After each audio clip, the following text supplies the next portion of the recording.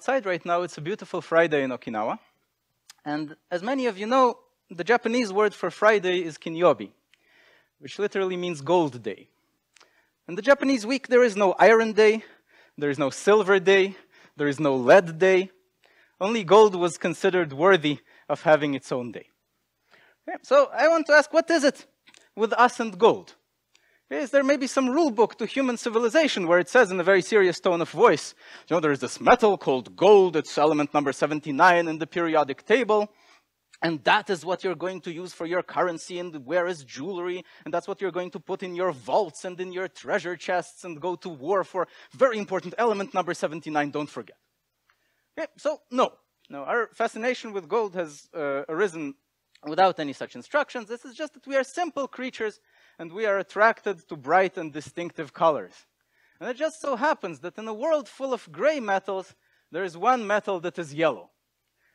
So, our question for today is, why is gold yellow? Now, is that even a legitimate question to ask? And perhaps there is a rule book to the universe where it says, yes, and element number 79 is going to be yellow. Also, element number 8 is good for burning things. Bunnies are good at hopping, and frogs are good at jumping. Uh, but no, uh, we ain't come this far in the scientific revolution to keep thinking in these terms. So we understand that all of these phenomena of everyday life must be arising from some deeper, more fundamental laws that are closer to the ultimate nature of reality. So now with renewed vigor and the confidence that an answer should exist. Okay, why is gold yellow? And the answer turns out to be remarkable, and is one of my favorite stories in all of science. And it is so deliciously counterintuitive that even though it has been known for something like 40 years, it has uh, still managed not to percolate into our general culture. Okay? The papers from the time when these things were first understood have magnificent titles, like this one, that reads Relativity and the Periodic System of Elements. Okay, so relativity. So these guys are telling us that the color of gold, as well as some other phenomena, like the fact that mercury is a liquid, have to do with relativity, with the strange and wonderful behavior of objects near the speed of light. Now, the thing that most of you know about the speed of light is that it acts as a universal speed limit. So when Han Solo tells Chewbacca, Chewie, take us to light speed, in the real world, that doesn't work. So Chewie can't take us to light speed. The entire structure of space-time conspires to prevent him from following this simple instruction. And the particular way in which that happens is that as you try to accelerate closer and closer to the speed of light, you start getting heavier and heavier, so that accelerating further becomes harder and harder, and eventually impossible. So the story that I want to tell you today is that because of this effect, because of mass increase near the speed of light, gold turns out to be yellow. All right? Now, today I spent all morning talking to my scientist friends around campus, and uh, I was asking them, Do you know why gold is yellow? And they say no. And I was telling them, Well, it's, it's relativity, and they have no idea what I'm talking about. And I'm telling them it's mass increase near the speed of light, and they still have no idea what I'm talking about. So, you know, I, I am sure that our main audience are all smart people and have already figured out the story from these clues, but for the sake of my friends, let's fill in some more details about how this actually works. So, the first counterintuitive twist in this story is that it's not about the color yellow at all. This is a story about the color blue. Ordinary gray metals are gray because they reflect light in all the colors uh, of the visible spectrum. And when it comes to yellow, gold is a plain ordinary metal. It reflects yellow uh, just as a metal should. What is special about gold is its reaction to the color blue. Instead of reflecting blue, it decides to absorb it. So what we see as the yellow color of gold is really the overall incoming white light with blue subtracted. The question is then, why is gold absorbing blue? And this might sound, at the face of it, quite scary. So ordinary metals don't absorb light at all, and this one does, so something radically different here. But in fact, it's not as bad as that. Ordinary metals also absorb light, it's just that they don't do it at the visible colors. Instead, they like to absorb ultraviolet. So the special thing about gold is that it takes this behavior of ordinary metals and shifts it from the ultraviolet towards the visible blue. So the question of why is there a gold day in the Japanese week then becomes why should it decide to absorb blue instead of UV? Yeah. And at this point, we should start getting more physicsy. We should start replacing all of these names of colors with some number. Okay, so what's a good number that distinguishes ultraviolet light from blue visible light? Well, one such number is energy. As we know well from getting sunburned, ultraviolet light is more energetic than visible. So really the question is, why is this uh, one special metal deciding to absorb light of lower energy than usual? And in order to start answering that, we need to remind ourselves what matter is actually made of. Okay, so matter is made of atoms. Atoms are made of electrons orbiting around the nucleus. And what usually happens when matter absorbs light uh, is that the energy of the light gets picked up by one of the outermost electrons in the atom, and the electron uses it to jump up uh, into the next available orbit.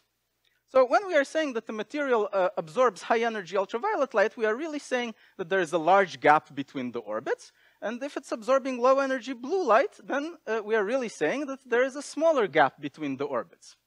So the special thing about gold is that the orbits in the gold atom are closer together than they should be. And if we look in a bit more detail, we will see that what's actually happening here is that it's the top orbit that's changing. The top orbit is shifting down in gold as compared to an ordinary metal, while the next orbit below is more or less staying put, and that is how the gap between them shrinks. Okay? So what's special about gold, the reason we go to war over the stuff, is that the topmost orbit uh, in its atom is lower than usual. Why is that? Well, I told you why. Okay? Because of mass increase near the speed of light.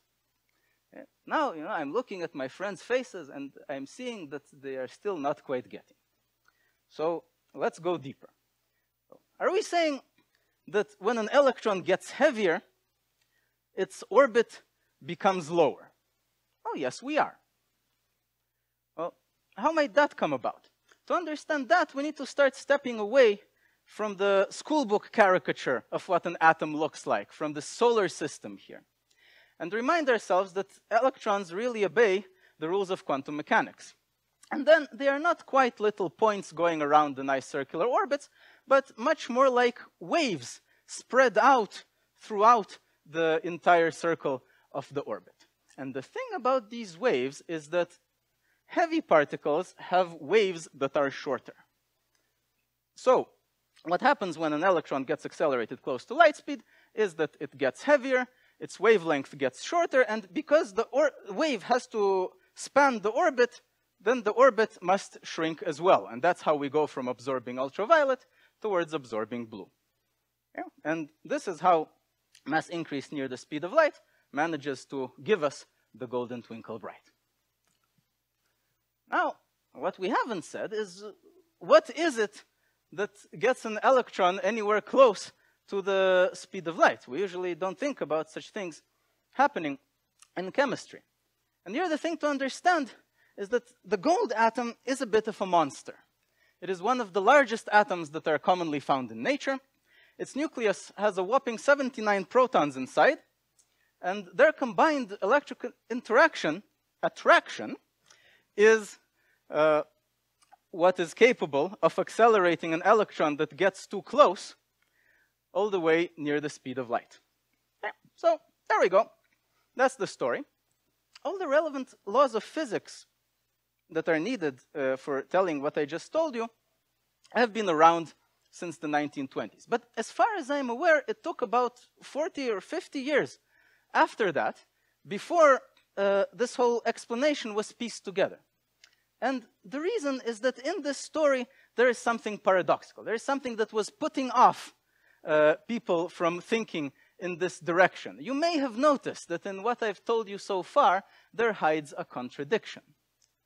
Because on one hand, the electrons that are in charge of responding to light, deciding what gets reflected and what gets absorbed, are the outer electrons inside the atom. On the other hand, the electrons that are getting close to the nucleus accelerated and then therefore heavier are the ones closest to the nucleus and the inside of the atom. So that makes no sense. In order for this to be the mechanism behind the color of gold, an electron must be somehow doing both things at once. But that, of course, is exactly what electrons in quantum mechanics do. Okay? They are not quite waves going around in a circle around the nucleus. They are rather more like clouds of probability to find an electron distributed all over the volume of the atom. It's just the higher orbits are just ones that are more concentrated on the outside, the lower orbits are more concentrated on the inside, but both in principle span both here and there.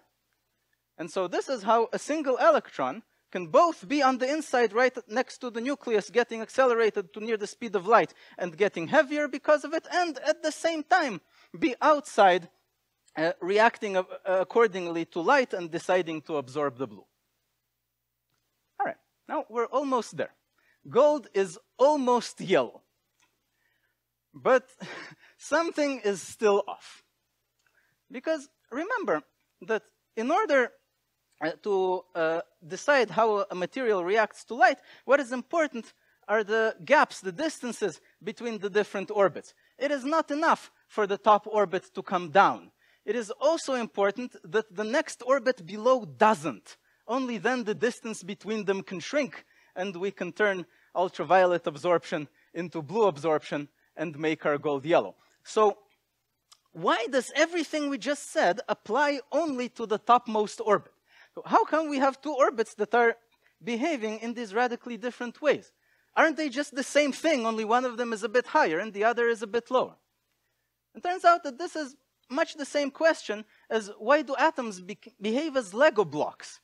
Why do they attach to each other in molecules at fixed angles? Why does chemistry work the way it does? Now, now are, are you feeling it? Yes, the, the ground is getting more and more sacred as we talk here. I'm, I'm not a religious guy, but uh, just as a precaution, this is a good point to take off one's shoes. So an electron is not quite a point running around in a circle inside the atom. It is not quite a wave running around in a circle either. And it is not quite a cloud of probability distributed throughout the atom's volume. It is all those things.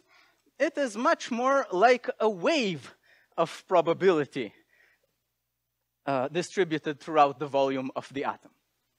And this here, these waves of probability, this is the beating heart of quantum mechanics the secret operating system of the universe revealed by the great sages of the 1920s, the fundamental magic behind the myriad phenomena of the everyday, and the ultimate reason why gold manages to be yellow after all. The thing about waves is that when two waves meet, they can either add up and reinforce each other, or they can cancel out and subtract. So when we ask ourselves, what is the electron's probability to find itself at the center near the nucleus and feel its mighty electrical attraction, what we should really be doing is we should be taking the waves of electron probability coming in from all the directions in the atom uh, at once, adding up at the center, meeting each other at the center, and deciding what to do. And then for one orbit, it might happen that these waves will add up, reinforce each other, and create a blob of probability for the electron to be in the center get accelerated heavier and the orbit will come down. Or, but, or for a different orbit, it could be that the waves coming in from different directions in the atom are opposite to each other, they subtract, and then you get no probability for the electron to be at the center near the nucleus and no effect.